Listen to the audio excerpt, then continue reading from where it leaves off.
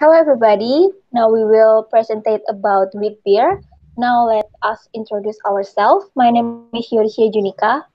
My name is Eirene Maria Santoso. My name is Astrid. So let's get started. First of all, what is wheat beer? Wheat beer is one of kind beer which is brewed with a large proportion of wheat compared with the amount of malted barley.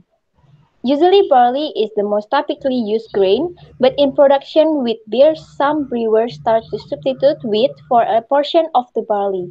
At least 50% of the grain is wheat.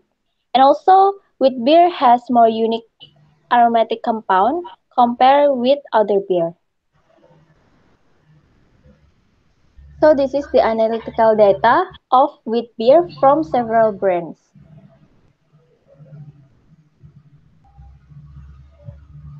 So the benefit of drinking wheat beer is since wheat beer is made from a particular yeast strain, it can be strain 3068 or Weizen yeast that contain enough amount of polyphenols to make them beneficial to endurance athletes. Polyphenols are the aromatic compound in the plants that are normally credited with a cancer preventing properties, antiviral properties, and regulate the immune system.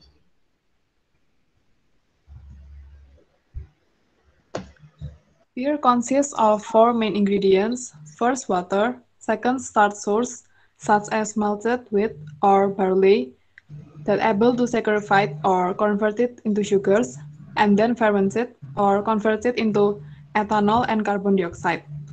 Brewer yeast, the microorganism that is responsible for fermentation in beer. Yeast metabolize the sugar extracted from grains, which produce alcohol and carbon dioxide, and thereby turns wort into beer. In addition to fermenting the beer, yeast influence the character and flavor. Plus, the flavoring, such as hops, which contributes a bitterness that balances the sweetness of the malt. Next. This is the production process. The link of the video will be dropped at the description box. Next. First, we have to preparing the mash. The malt is crushed using iron rollers and transferred to the mash tank or tun. This tank is large copper or stainless steel vessel that mix the malt with warm water until it is porridge-like consistency. This mixture is called mash. After mixing with similarly prepared cereal grains, the temperature of the mash is raised incrementally from 100 to 170 Fahrenheit so that the enzyme reacts.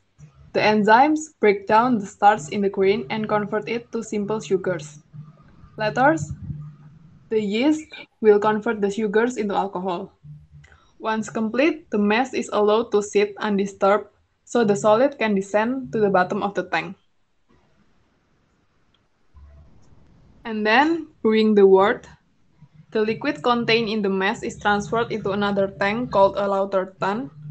This is accomplished by drawing the liquid out through the bottom layer of mash solids, which acts as a filter. Hot water is added to the top of the mash tank to rinse the remaining liquid, or called wort, from the mash. The solid remains of the grain and are dried and sold by the brewer as animal feed. The wort travels on the brew kettles, where it's boiled to sterilize it, and where the carefully prepared hops are added.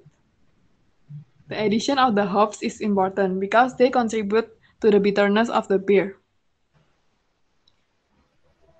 The beer kettles are the most impressive equipment in this process, gleaming copper, they can be 7 to 12 feet in diameter and 2 stories high. Steam usually provides the heating energy to the brew kettles.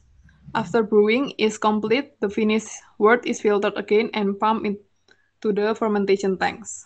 Next. This is the picture of the steps preparing the mash and brewing the wort. Next. The third is fermenting. In the fermentation tanks, the atmosphere must be carefully controlled to prevent any roach, bacteria, from interfering with the yeast. Carefully maintained yeast is added to the wort, and the temperature of the mixture is slowly reduced over a period of days to between 15 until 60 Fahrenheit.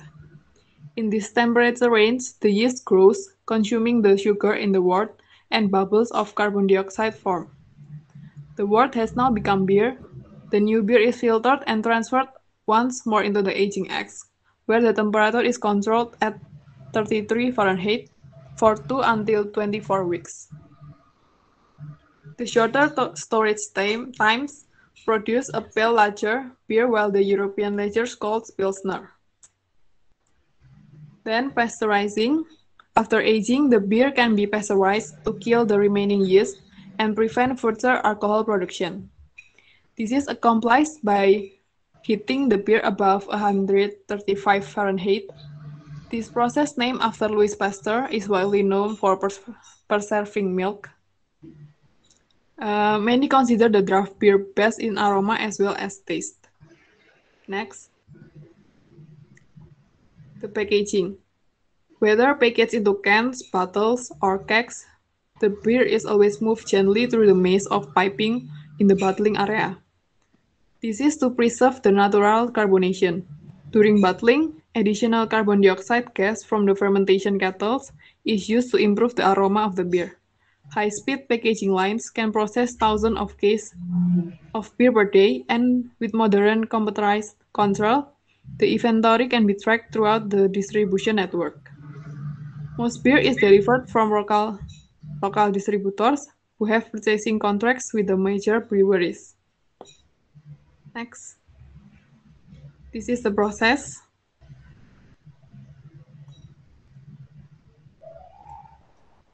Uh, the next one is quality control of wheat beer.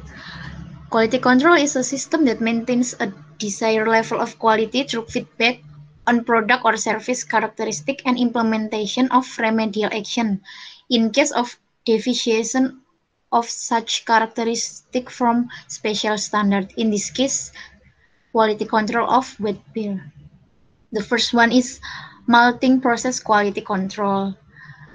There are color and other odor, moisture and water sensitivity, foreign seeds and material, nitrogen and con protein content, flow rate of water and air, germination capacity and energy, barley type and variety, barley and malt kernel size, time, kernel moisture, temperature, color of malt, protein, protein starch and enzyme level, and the last one is sensory evaluation.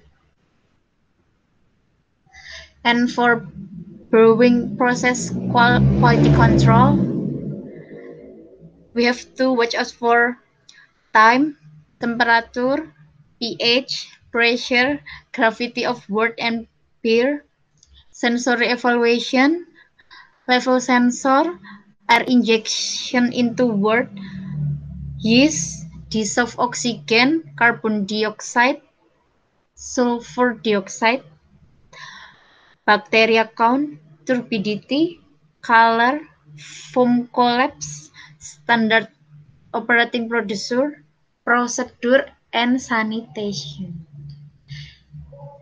And this is the reference we use for this presentation.